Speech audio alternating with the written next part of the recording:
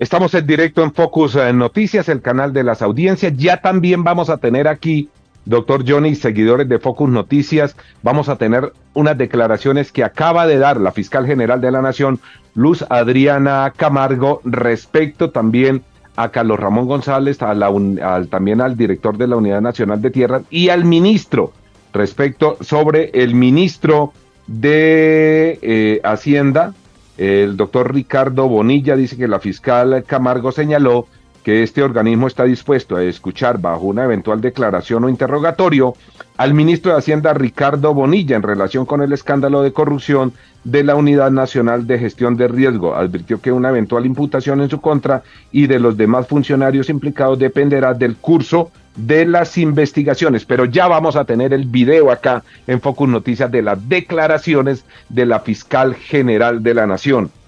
¿Habla la fiscal de una entrevista o, incluso un interrogatorio? ¿Qué diferencias hay entre esto respecto al procedimiento eh, penal? ¿Qué diferencia hay en que el ministro sea llamado a una declaración eh, que debe ser bajo juramento o a una entrevista? O a un interrogatorio, profesor Johnny Giraldo, para la claridad de todos nuestros seguidores de Focus Noticias, que les pedimos que compartan esta noticia, porque ya también venimos con otra noticia sobre este tema del Tribunal Administrativo de Cundinamarca y también con las declaraciones de la fiscal general de la Nación, Luz Adriana Camargo. Profesor Johnny.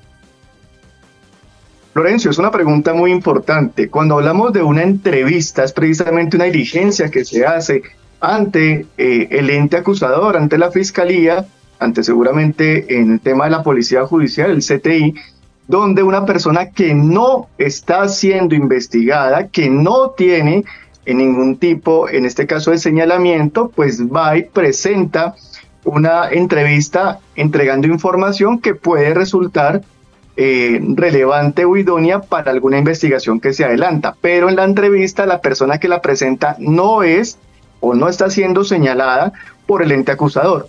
Mientras que la figura del interrogatorio al indiciado es precisamente aquella diligencia que la persona indiciada, la persona que ya tiene un señalamiento básico, una comisión de una conducta punible, realiza ante el ente acusador y ojo, es interrogatorio el indiciado sí o sí debe hacerlo con un abogado. ¿Para qué? Para garantizar su derecho a la no autoincriminación, su derecho a guardar silencio y también su derecho a la defensa. Mientras que para la entrevista el ciudadano va solo, presenta su entrevista y no hay ningún tipo de vinculación directa de él con el proceso penal. Caso contrario, interrogatorio al indiciado que si bien también se da en el marco de la defensa material, la que yo ejerzo como indiciado, la técnica con mi abogado, esa diligencia, Florencio, sí tiene el carácter de que podría generar consecuencias jurídicas para la persona que la realice. Está establecido en la ley, se puede adelantar y es una forma para que la persona que ha sido señalada diga, mire, yo fui señalado, pero acá vengo con mi abogado para dar claridad a esta situación y que bueno, la Fiscalía, después de un interrogatorio al indiciado, si considera que no hay elementos para seguir con este proceso, pues procede a archivarlo. Es una posibilidad, como también presentado el interrogatorio indiciado, la Fiscalía puede decir, no, si tengo elementos para seguir adelante, alcanzo inferencia razonable y voy a proceder con la imputación de cargos. Esa es la explicación, Florencio, para estas dos figuras y sus respectivas diferencias.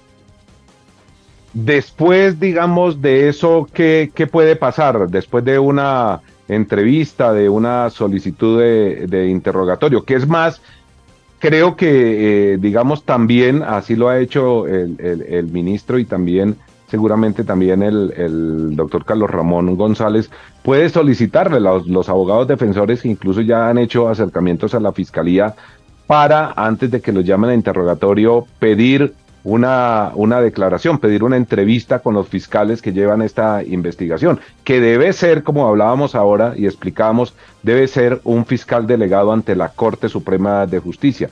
No sé si la misma doctora Andrea Muñoz, quien es fiscal delegada ante la Corte, o si se le asigna esta investigación a otro fiscal o a otra fiscal delegada ante la Corte, doctor Johnny. Florencio, el tema de la asignación sería un tema interno de la Fiscalía. Ellos revisarán si eh, por temas de idoneidad, lo puede hacer la misma fiscal o lo hace otra fiscal con las mismas características. Frente a qué pasa después de la entrevista. Y podemos hacer esta claridad para que sea mucho más eh, pedagógico. Hay una persona señalada, por ejemplo, es simplemente un ejemplo. Hablamos el señor eh, Carlos Ramón González. Él es el señalado, contra él se inicia algún tipo de investigación y ¿quiénes serían los entrevistados? Personas, Florencio, que seguramente trabajaron con él, parte de su equipo de trabajo, personas cercanas que no están vinculadas directamente con la comisión de una conducta punible, pero que podrían entregar información relevante para el ente acusador y por ende serían, en este caso, citados para rendir esa entrevista. Pueden hacerlo solos, sin ningún abogado, ni nada por el estilo. ¿Quién sería llamado a un interrogatorio al indiciado? En el caso hipotético, el señor Carlos Ramón González como persona señalada y él se tendría que ir con su abogado y pues ejercer su derecho a la defensa material, también la defensa técnica, que está obligado a hablar, no Florencio. Él puede ir y decir yo guardo silencio porque es mi derecho constitucional, artículo 33, y es mi forma de defenderme. Estoy aquí, guardo silencio. O simplemente no me presento a la diligencia. Es un tema que su defensa tendrá que revisarlo dentro del marco de la estrategia que establecerá para defender los derechos de su prohijado. Pero ¿Qué pasa? Adelantada la diligencia en contra de la persona señalada, ese interrogatorio indiciado, pues la fiscalía simplemente ¿qué está haciendo? Audiencia de focus, recolectando elementos, materiales probatorios, evidencia física, información legalmente obtenida, que serían las entrevistas, y con esto sigue construyendo su caso, su teoría del caso. Cuando alcanza ese primer escalón, de estándar probatorio, inferencia razonable, dice, mire, alcancé esto y la ley me faculta para yo proceder con la imputación de cargos, como pasó el día de ayer. Y una vez imputados los cargos, si se dan los presupuestos, con la solicitud de imposición de medida de aseguramiento, como va a pasar el 7 de agosto en contra de Olmedo López, Schneider Pinilla y el contratista, el señor Luis, Luis López. Entonces, Florencio, ese sería el paso a seguir, sería el trámite considero que por todo lo que viene sucediendo y por los graves señalamientos, lo más probable, Florencio, es que así se tome interrogatorio iniciado, la Fiscalía proceda con la imputación de cargos, Florencio.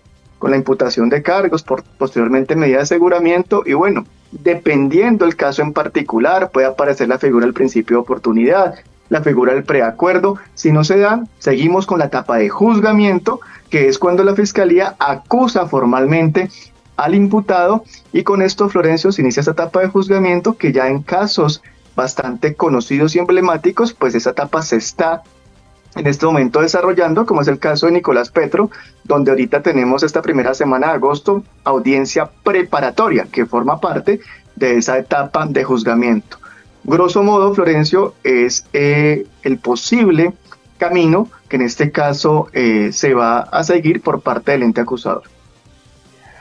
Atención, doctor Johnny, seguidores de Focus Noticias. Aquí tenemos las declaraciones que acaba de dar la fiscal general de la Nación, la doctora Luz Adriana Camargo, respecto al caso del ministro Bonilla y también de los otros implicados en este escándalo de corrupción y salpicados por Sneider Pinilla y Olmedo López. Veamos lo que dijo la fiscal general de la Nación hace algunos minutos. Aquí está la declaración en Focus Noticias.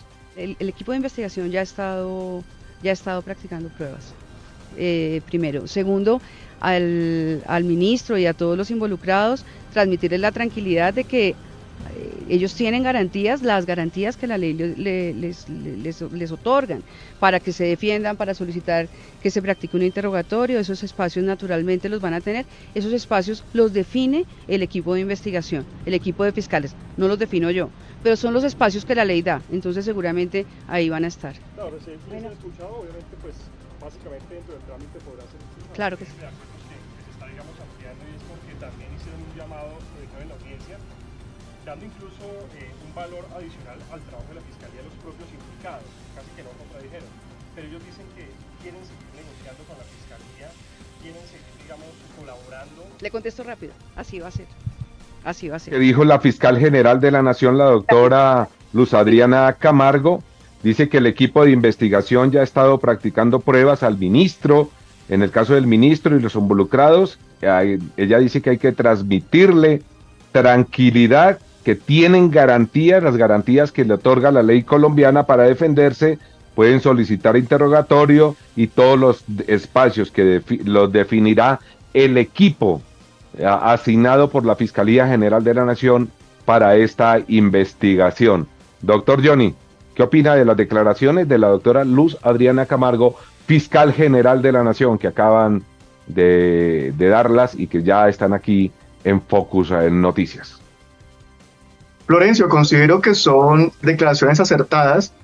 La señora fiscal general de la Nación, ella ha indicado algo que es fundamental en nuestro sistema penal, que son las garantías, garantías del debido proceso, garantías que en ese marco los principios rectores establecidos en la ley 900, 906 eh, de 2004, Código de Procedimiento Penal, pues tenemos con ellas, Florencio, el tema de ese respeto por la presunción de inocencia, que es para todos, absolutamente para todos, y a partir de ahí ha dicho que se respetarán las garantías, que tendrán el derecho, como todo ciudadano, a ejercer su derecho a la defensa, a que se aplique un debido proceso. Y bueno, Florencio, lo más importante, como siempre lo he dicho, objetividad por parte del ente acusador, la independencia que debe tener y a partir de ahí que se aplique todo el proceso legalmente establecido para cada una de las personas señaladas, para que las mismas puedan ejercer ese derecho a controvertir las pruebas presentadas en su contra, a presentar pruebas,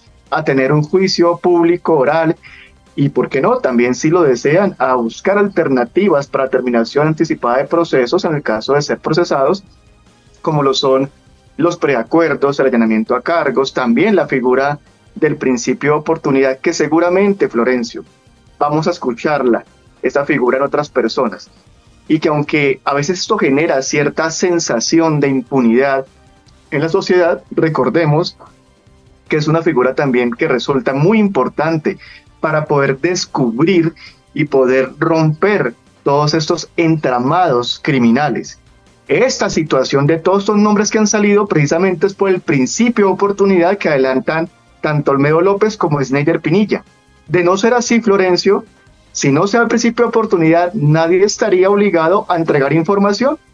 Entonces, mire que aunque parece una figura que puede ser criticada, lo cierto es que para temas de justicia, verdad y reparación resulta a veces muy útil para lograr esclarecer hechos tan lamentables, Florencio, tan reprochables como los que vienen sucediendo últimamente con este tema de la Universidad, Unidad Nacional para la Gestión del Riesgo.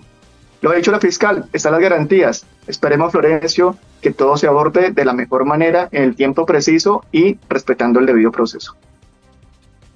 Le tengo noticia de último minuto. Hay mucha noticia, doctora Johnny Giraldo mucha noticia. Confirmado, acabamos de confirmar con la Fiscalía General de la Nación. Acaba de llegar hace algunos minutos un poder del doctor Iván Cancino González.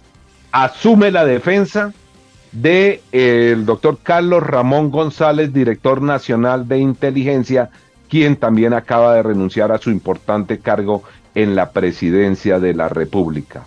El abogado Iván Cancino acaba de tomar el poder y acaba de presentar también ese poder ante la Fiscalía General de la Nación. Atención, esa es la noticia también, la acabamos de confirmar con la Fiscalía General de la Nación. Iván Cancino será el defensor o es hasta este momento, desde este momento, el defensor de Carlos Ramón González, quien acaba de dejar su cargo y acaba de presentar su renuncia ante la Fiscalía General de la Nación.